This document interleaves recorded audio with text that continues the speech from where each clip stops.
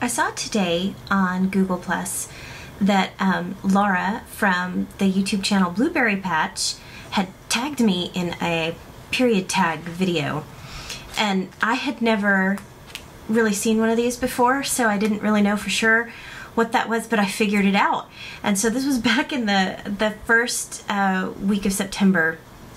And I'm really sorry that it took me so long to notice that. I just happened to be in there today um, because I haven't really been active over on Google Plus very much. And so I was in there kind of clicking around and I saw that Laura had tagged me. So I figured the least I could do is come and answer these simple questions that are on this. And basically, it's called the What is Your Perfect Period tag.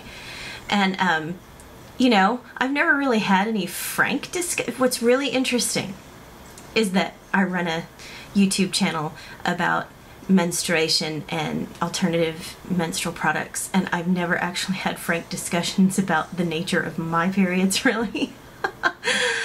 and so I figured, you know what? If she's brave enough to do that, I will go ahead and do it. So these are five questions, and actually, she had a sixth one, so I would go ahead and answer that one too. Um, questions that you ask about, you know, if you could have your absolutely perfect period, what would that look like? And these are these are five questions. And so I'll just jump right into those. But you know how my computer is, so I'm going to switch over to a new clip before I answer the first question, just to be on the safe side. So the question, the first question kind of goes like this. It says, if you had the choice, would you still even have a period? If you could choose not to have one, meaning that you would no longer, um, here comes Cadence. She makes a lot of noise. Um, basically it said that if you had the choice and of course that would mean that if you no longer uh, if you chose to say that no you would no longer have a period then that would mean of course no fertility because the, the whole purpose of it is um, to facilitate reproduction uh, in the female system. So um, so if you say no then that would mean you know no more kids but you, or would you choose to continue having them? And I don't intend, Mr. Nix and I do not intend to, to try to have any more children, but there's just something about the finality of saying no to that that I'm more than happy to put up with menstruation until I naturally reach uh, menopause. Um, so no, I would not. I definitely would not choose not to have them anymore. In fact, kind of as a tangent to this, oh, she, she goes under the desk to get her right at my feet, and then she decides when she was a puppy, she would get under there and she fit really well and she used to like to sit underneath my desk right at my feet and chew on her little bone. It's a little Nylabone. Um, and she used to really enjoy sitting down there. But now that she's big she doesn't fit under there so well but she keeps trying and then she gets under there and gets frustrated because she can't get comfortable and then goes out and makes noise. So anyway babbling and i can't even answer the first question. Okay so yes to question number one i would still have a period. Um, and to be honest, um, when I was in Ireland, um, in I want to say this was in 2010, I got my first Paragard uh, IUDs shortly after Elizabeth was born. Um, because we didn't want to have children without planning for them, and um, so that was my that was our chosen method. And um, when i was in ireland it came due to to remove it and, and put in a new one. And um, in ireland they didn't have the paragard so they put in the Mirena and the Mirena has slow release hormones and, and, and for different people react different ways to it. But with me i didn't have any cycle at all for about a year. And at first it was kind of cool software skipping so i'll be right back. So i went for basically a solid year with she wants to go downstairs. Oh my goodness this dog. I love her. But mercy. Um come on. If you're gonna be if you're gonna take up the video get up here so everybody can see you she's not going to do that either.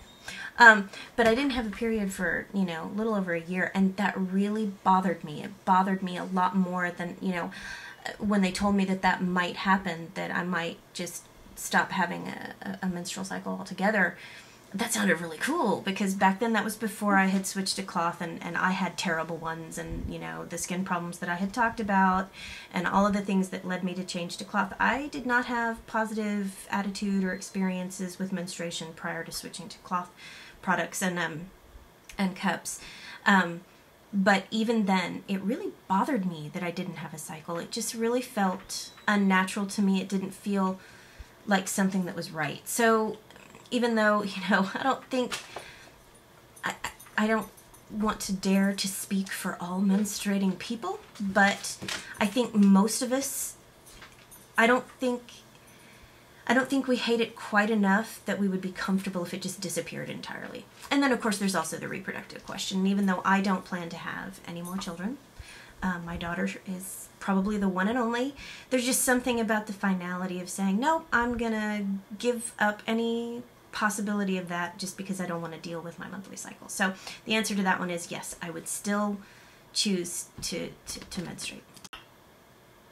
Question number two is on your perfect period, what method would you use to handle your flow, assuming that whatever you picked would never leak? So that, you know, assuming that whatever product you would ideally like to use um, for your for handling your perfect cycle um, that it would work properly and that you wouldn't have leaks and that you wouldn't have problems with it. So if you had the perfect, it would be cloth pads. If I could, um, I have really, really heavy days and I find it inconvenient uh, to change frequently enough on those days to, to just use pads. But if we were going on the assumption that this was an ideal world, I would wear nothing but pads because cloth, now before I switched to cloth, that would have been the opposite. I would have used nothing but internal protection without having to wear pads because they irritated my skin and they crinkled and they were sweaty and not breathable because of that plastic thing that they put on the back of the disposables that sticks to the underwear. So, in my perfect ideal period universe, I would use um, uh, I would have used nothing but tampons back then. But now that I've been introduced to the world of reusables cloth pads, I find them so comfortable. I forget that I'm wearing them. Um, it's just a completely different experience, in addition to which they absorb a lot more and keep it away from your skin a lot better, uh, just in my experience. So I would wear nothing but cloth pads um, if I had. And of course, they would all be really, really pretty ones from Annie Bell's and Hidden Glen and Novel Red and York Craft and the favorite ones that I've made because those are all my favorite pad makers. Okay, question three. Mr. Nix just got home. So question three is going to have to wait a minute. So Mr. Nix came home, like I just said, and he's you can't see him. He's sitting right there. So I have to finish the rest of this tag video where I'm talking about periods in front of my husband just so you understand the new difficulty level present in the rest of this video. Okay, so question number three is, on your perfect period, would you get rid of all the symptoms that you have?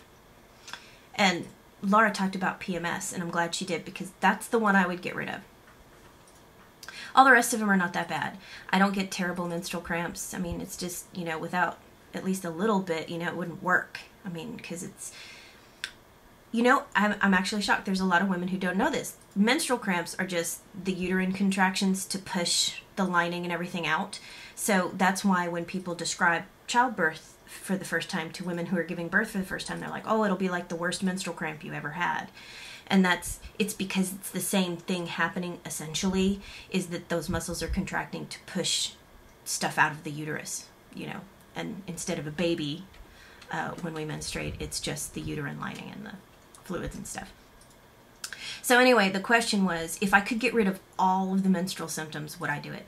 No. The only one I would get rid of is PMS because this is and this is another thing that I did not notice or learn about me until I started uh, cloth and reusables and I started tracking my cycle with apps on my phone because I always had really, really irregular periods. They, they just, I would skip some or I'd have two really close together and it was like that my whole life. And then after I switched, it seemed to me like they were coming more regularly. So I started tracking just to see if that was my imagination or if it was real. And they, they really have kind of regulated. I run between a 30 to 33 day cycle now. And it's so, I mean, they're pretty compact and close together now, whereas prior to changing to cloth, they were not. And that's been going on for a solid year now. So I, I think it's safe to say that there was something about the disposable use or I don't know, something about my body chemistry changed after I switched. So now I'm regular, whereas I never was before. But the secondary benefit of switching to an app and tracking it was that I discovered that I, I mean, I've always thought that I was just this incredibly moody person. I would get, have these spells where I would just get really kind of down. And I have a lot, I'm, I'm an anxious, nervous, worry wart kind of person. Aren't I, Mr. Nix? A little bit. A little bit. He's being very kind. I'm an extraordinarily anxious person. I worry about things that normal people don't worry about. And, you know, and that would get really bad. I would have these, you know, it would seem like I would have these periods of time where it would just be really, really bad for a while. And then I would go back to being a relatively normal person who worried about normal person things. Maybe more than normal people would worry about them, but I would worry about rational stuff to worry about. Well, when I started tracking it on, that's the pizza guy, so Mr. Nix is going to go get the pizza. So you're going to hear all of that taking place down there. But anyway, so I started to realize that all of those really terrible anxiety and kind of depressive cycles where I was just down about things and worried about stuff that just shouldn't be worried about, that was all in the week before my actual period would begin. So I I always thought I didn't have PMS because everybody says, oh, PMS is when you get irritable and angry and you snap at people and you just become kind of, you know, witchy. And that didn't happen to me. I did not have that particular manifestation of premenstrual syndrome. But my PMS is I do, I tend to get very, very anxious and I tend to get a little on the depressive side um, in, a, in the week before my period starts. So if I could get rid of that, I would absolutely get rid of that. Um, but that's the only menstrual symptom. I have been very, very fortunate in my life. I've never had debilitating menstrual cramps. I do have discomfort and everything, but I don't have debilitating ones. So, yeah, really the only one I'd get rid of is the, the PMSy stuff. Question number four is On your perfect period, would you change your work or daily routine during the cycle? Yeah. if I had my druthers, when I was on my period because I tend to get a little bit tired. I think that's pretty typical for a lot of people. You just get more tired than usual. Not necessarily sleepy, just kind of drag a little bit. Um, at least I do. And I've heard other people say that they do too. Um, so if I could change that, yeah, I wouldn't have to get up in the morning and, and, and drive my daughter to school and I wouldn't have to cook, you know, that sort of thing. But my family's pretty lenient with me. If I don't feel like cooking, we order pizza like we just did. Um, but yeah, I think if I could, on my absolute perfect period, I would just lay around all day and do a whole lot of nothing. And maybe ride my bicycle a little bit because that does relieve my, my my menstrual cramping is so mild that usually if I get up and walk around or ride my bicycle a little bit they go away. So I would probably ride my bike leisurely you know a little bit and I would sit around and watch sniffly romantic movies and eat a lot of vegetables and ranch dip and that kind of thing. So, yeah, I would definitely change my schedule. I would just clear all of my responsibilities and just hang out. Question number five is on your perfect period, what would your attitude about it be? You know, what would your attitude towards the whole thing be? Well, honestly, it's really going to be kind of what my attitude towards it is now. Um, once I got rid of disposables, and this is not it, it really is. I wouldn't have made a channel about this stuff and talked to whoever wanted to pass through and listen to me. You know, people I went to kindergarten with have access to YouTube. So, you know, I would not broadcast this stuff if, it, if I didn't actually feel this way about it because, you know, I thought it was important enough to talk to other people about it. Um, but my attitude toward periods now is I, it, I really don't care when they show up. I mean, I really have no I I don't ever go, "Oh, yay! Now I have this going on." But but I don't dread it. I don't have a problem with it. It doesn't bother me anymore. Um, I don't have a waste basket full of stinky, nasty, disposable garbage that has to be taken out regularly, or else it just really. Because I seem to have my sense of smell during my menstruating days tends to be heightened, kind of like it was when I was pregnant. Not to the degree it was when I was pregnant, but so things that smell bad just really bother me and and disposables stink. I mean disposables reek. They smell so bad. And i don't have that anymore so that part of it's gone. Um, i don't leak with cloth pads anymore so that part of it's gone.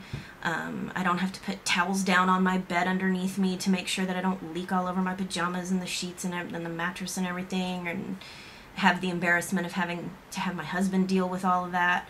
I mean, he was always really good about it, but still, I mean, it doesn't matter how sweet your husband is to you. You don't want to wake your husband up at 3 o'clock in the morning and say, baby, you got to get out of the bed so I can get blood off the sheets.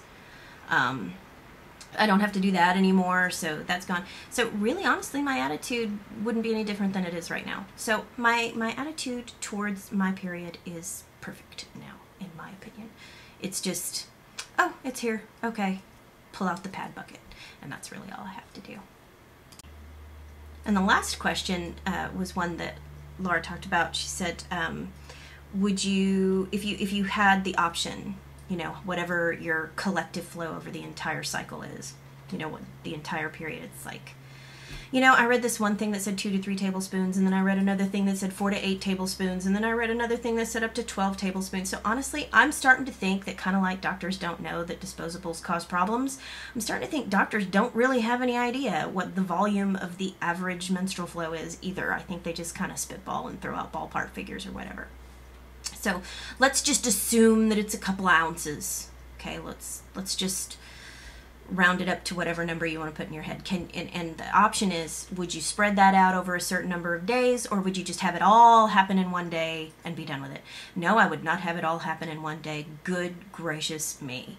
Can you imagine having because if you stop and really think about it, because that sounds convenient at first, it's like, oh yeah, we just have it all happen in one day. No, no, no. Think about what a nightmare that would be having because you know what it's like when you go from day to day to day. Some of us have cycles that last up to 10 uh, periods that last up to 10 days long, right? Mine is usually 4 or 5 days. And, you know, I have a couple of days in there where it's pretty high maintenance, where you have to go in on your heavier days and you have to deal with it pretty frequently, even if you're wearing a cup. So imagine having five times that all compressed into one day. No, thank you. I would keep it exactly the way it is now and spread it out over a few days. It's just really not that big of an inconvenience. And after you, you know, you've had two or three of them, you know, your first several are a little daunting. At least they were in my memory. The first several periods that you go through as a as an adolescent are a little daunting because you're not used to it yet and you, hadn't figured out, you know, where you need extra padding or whatever, um, or how frequently you need to check it or or whatever. Um, but you know once you're kind of used to it, I just it's not that big a deal. Uh, so I would keep the length of it exactly where it is, um, or maybe even spread it out longer and have less per day. I think it would be really great to have a light one where I could just throw on a pad, and if I didn't remember to change it every four hours on, you know, my heaviest day would be like, oh, maybe I should change once at lunch, and that would be enough, you know. So if I had to, if I had the option of lengthening it, my perfect period would be like six or seven days instead of four or five, just because if I could spread it out and make it a little bit lighter, I think I would enjoy that. Um, and then the final thing she talked about in there, she said she made a comment that I thought was kind of nice. She was talking about how she thinks that, you know, men who cohabit with women or men who have serious relationships with women, you know, men who are married to women, especially, and this is the big one men who have been married to a woman for a while, lived in a home with a woman for a while, and especially the ones who have reproduced with a woman, you know. So they've gone through all this. You live in the house with a female human being.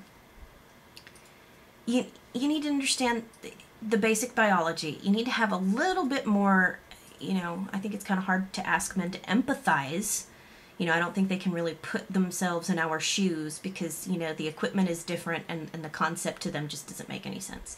And that's fine. But, you know, for heaven, Google it. Get an anatomical chart because some of the stuff that I've seen people say that their husbands say about menstruating and, and some of the things I've heard men say. Now, if they make jokes, see, I'm not really easy to offend with the jokes, you know, when men make jokes about you know, the infamous one, never trust anything that bleeds for seven days and doesn't die. You, we, we've all heard that joke, right? And some people get righteously enraged by that joke. I thought it was kind of funny. I mean, it's insulting, but it's kind of. I'm sorry, it's kind of funny. That's that's just me. Uh, unless, of course, obviously they're being mean about it. But most men who actually say that in the presence of women aren't being mean about it. They're they're being they're being men, and that's fine. But I agree with Laura 100%. I wish that, that men who have chosen to spend their lives with a woman would take a little time to understand that number one, it's not like disease ridden. Number two, no, she's not going to pass out from blood loss. It's not the same as having a cut that bleeds for seven days. It would be nice if they could point to the uterus on an anatomical chart. That would be nice. Um, so yeah, I thought that was a good point that she brought up. So anyway, that was it. That was my first tag video. So thank you for tagging me. I thought that was so cute. And so and by the way, Laura from BluBerri Patch, you're just adorable. I I had not seen any of your videos before and I'm glad I ran across you. So anyway, thanks. Talk to y'all later. Bye.